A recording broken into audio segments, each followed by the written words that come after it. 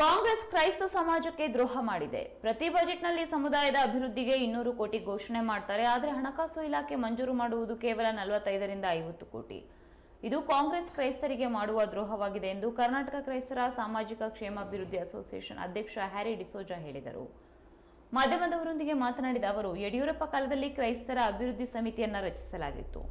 BJP ಅವಧಿಯಲ್ಲಿ ಮೊದಲ ಬಾರಿಗೆ ವಿಧಾನಸೌಧದ ಬ್ಯಾಂಕ್ವೆಟ್ ಹಾಲ್ನಲ್ಲಿ ಕ್ರಿಸ್ಮಸ್ ಆಚರಿಸಲಾಗಿತ್ತು. ಬಿಜೆಪಿಯಲ್ಲಿ ನಮ್ಮ ಸಮುದಾಯದವರಿಗೆ ಒಳ್ಳೆ ಸ್ಥಾನಮಾನ ಕೊಟ್ಟಿದ್ದಾರೆ. ಹಾಗಾಗಿ ಈ ಬಾರಿಯ ಲೋಕಸಭಾ ಚುನಾವಣೆಯಲ್ಲಿ ಬಿಜೆಪಿ ಪಕ್ಷಕ್ಕೆ ರಾಜ್ಯದ ಕ್ರೈಸ್ತ ಸಮುದಾಯವು ಬೆಂಬಲಿಸಲು ನಿರ್ಧರಿಸಿದೆ ಎಂದರು. ಕಳೆದ ತಿಂಗಳಲ್ಲಿ ನಾನು ಸುಮಾರು ಮೂವತ್ತೊಂದು ಜಿಲ್ಲೆ, ಎಲ್ಲ ನಮ್ಮ ಅಖಿಲ ಭಾರತ ಕ್ರೈಸ್ತ ಮಹಾಸಭಾ ಸಂಘಟರು ಈ ರಾಜ್ಯದಲ್ಲಿ ಕಾಂಗ್ರೆಸ್ ಪಕ್ಷದ ಜೊತೆಗೆ ನಿಂತ್ಕೊಳ್ಬೇಕಂತ ಹೇಳಿ ನಾನು ಒಂದು ಮೀಟಿಂಗ್ನ ಮಾಡ್ತೇನೆ ಅದ್ರ ಜೊತೆಗೆ ಇವತ್ತು ರಾಜ್ಯದಲ್ಲಿ ನಾವು ಕಾಂಗ್ರೆಸ್ ಪಕ್ಷಕ್ಕೆ ನಾವು ಸಪೋರ್ಟ್ ಮಾಡಲಿಕ್ಕೆ ಬೆಂಬಲಿಸಲಿಕ್ಕೆ ಕಾರಣ ಏನಂದರೆ, ಕಳೆದ ಎರಡು ಸಾವಿರದ ಇಪ್ಪತ್ತೊಂದು, ಇಪ್ಪತ್ತೆರಡು ಇಪ್ಪತ್ತ್ಮೂರು ಈ ಮೂರು ವರ್ಷಗಳು ಕರ್ನಾಟಕ ರಾಜ್ಯದಲ್ಲಿ ಬಹಳಷ್ಟು ಸಮಸ್ಯೆಗಳನ್ನ ನಾವು ಎದುರಿಸ್ತಿದ್ವಿ. ಸಭೆ ಮೇಲೆ, ಚರ್ಚ್ಗಳ ಮೇಲೆ ದಾಳಿ ಸಭಾಪಾಲಕರ ಮೇಲೆ ದಾಳಿ ಆಗಿರಲಿಲ್ಲ ಕ್ರೈಸ್ತ ಸಮುದಾಯಕ್ಕೆ. ಇದರಲ್ಲಿ ಸುಮಾರು ಐನೂರ ಮೂವತ್ತೇಳು ಕೇಸಸ್ಗಳನ್ನ ನಾನು ಅಟೆಂಡ್ ಮಾಡಿದ್ದೀನಿ. ಅಂದರೆ ಅಖಿಲ ಭಾರತ ಕ್ರೈಸ್ತ ಮಹಾಸಭಾ ನಾವು ಅಟೆಂಡ್ ಮಾಡಿ ಇಷ್ಟು ದೌರ್ಜನ್ಯಗಳು ರಾಜ್ಯದಲ್ಲಾಗಿದೆ. ಮಾಡಿಬಿಟ್ಟಿದ್ದಾರೆ ಅಂತ ಹೇಳಿ ಅವರು ಏನು ಸದನದಲ್ಲಿ ಹೇಳಿಕೆ ಕೊಟ್ಟರು.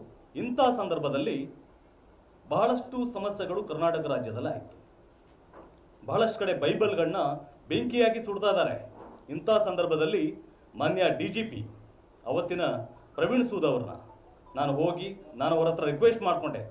ಸರ್, ನಮ್ಮ ಒಂದು ಸಮುದಾಯದ ಧರ್ಮ ಗ್ರಂಥನ ಇವತ್ತು ಬೆಂಕಿಲಾಕಿ ಸುಡ್ತಾ ಇದ್ದಾರೆ ಕೆಟ್ಟ ಕೆಟ್ಟದಾಗಿ ಅವಹೇಳನ ಮಾಡ್ತಾ ಇದ್ದಾರೆ ಇಂಥ ಸಂದರ್ಭದಲ್ಲಿ ನೀವು ಕ್ರಮ ತಗೊಳ್ಬೇಕು.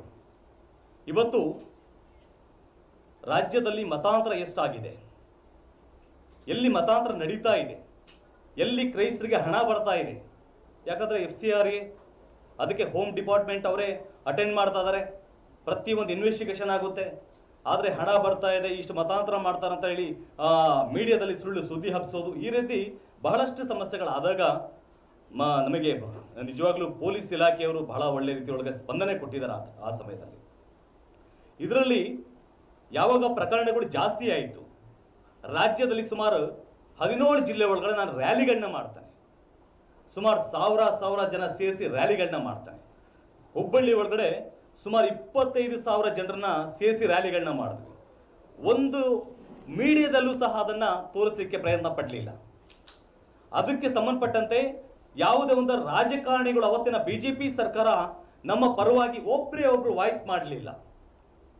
ಇಂಥ ಒಂದು ಸಂದರ್ಭದಲ್ಲಿ ಮತಾಂತರ ನಿಷೇಧ ಕಾಯ್ದೆ. ಅದನ್ನು ತಗೊಂಬರ್ತಾರೆ. ಮತಾಂತರ ನಿಷೇಧ ಕಾಯ್ದೆ ಅನ್ನುವಂಥದ್ದು ಸಂವಿಧಾನದಲ್ಲೇ ಇದೆ. ಬಲವಂತದ ಮತಾಂತರ ಮಾಡಂಗಿಲ್ಲ ಅಂತ ಹೇಳಿ. ನಾವೊಂದು ನಿರ್ಧಾರ ತಗೊಳ್ಳಿಕ್ಕೆ ಆ ಒಂದು ಬಲವಾದ ಕಾರಣ. ಅದ್ರ ಜೊತೆಗೆ ನಾವು ಕೇಂದ್ರದಲ್ಲಿ ನೋಡಬೇಕಾದ್ರೆ. ಮಣಿಪುರ ಅಂತ ಹೇಳಿ. ಮಣಿಪುರ ರಾಜ್ಯದಲ್ಲಿ ಸುಮಾರು ಇನ್ನೂರ ಮೂವತ್ತೆಂಟು ಹಳ್ಳಿಗಳನ್ನ ಸುಟ್ಟಾಕ್ತಾರೆ. ಹಳ್ಳಿ ಹಳ್ಳಿಗಳನ್ನೇ ಸುಟ್ಟಾಕ್ತಾರೆ. ಅರವತ್ತೈದು ಹೆಣ್ಣು ಮಕ್ಕಳ ಮೇಲೆ ಅರವತ್ತೈದಕ್ಕೂ ಹೆಚ್ಚು ಹೆಣ್ಣು ಮಕ್ಕಳ ಮೇಲೆ ಅತ್ಯಾಚಾರ ಆಗುತ್ತೆ. ಎರಡು ಬೆತ್ತಲ ಮೆರವಣಿಗೆ ಆಗುತ್ತೆ ಇಡೀ ಜಾಗತಿಕ ಮಟ್ಟದಲ್ಲಿ ಬಹಳ ದೊಡ್ಡ ಸುದ್ದಿ ಆಗುತ್ತೆ. ಇದರ ಬಗ್ಗೆ ಯಾವುದೇ ಒಬ್ಬೇ ಒಬ್ಬ ಒಬ್ಬೇ ಒಬ್ಬ ಪ್ರತಿಕ್ರಿಯೆ ಕೊಡಕ್ಕಾಗಲ್ಲ ಇಲ್ಲಿ ತಗ ಮಾನ್ಯ ಪ್ರಧಾನಿಯವರು ನರೇಂದ್ರ ಮೋದಿಯವರು ಅಲ್ಲಿ ಹೋಗಿ ಅವರು ಅವರಿಗೊಂದು ಸಾಂತ್ವನ ಹೇಳಕ್ಕಾಗಲ್ಲ. ಸುಮಾರು ಇನ್ನು ಆದರೆ ಆ ಈ ವಿಷಯದಲ್ಲಿ ಸಹೋದರಿ ನೆಹ ಅವರು ವಿಚಾರದಲ್ಲಿ ತಗೊಂಡಂತ ಆ ಒಂದು ನಿಲುವುಗಳು ಇವತ್ತು ಕ್ರೈಸ್ತರ ವಿಚಾರದಲ್ಲಿ ತಗೊಳ್ಳಕ್ಕಾಗ್ಲಿಲ್ಲ.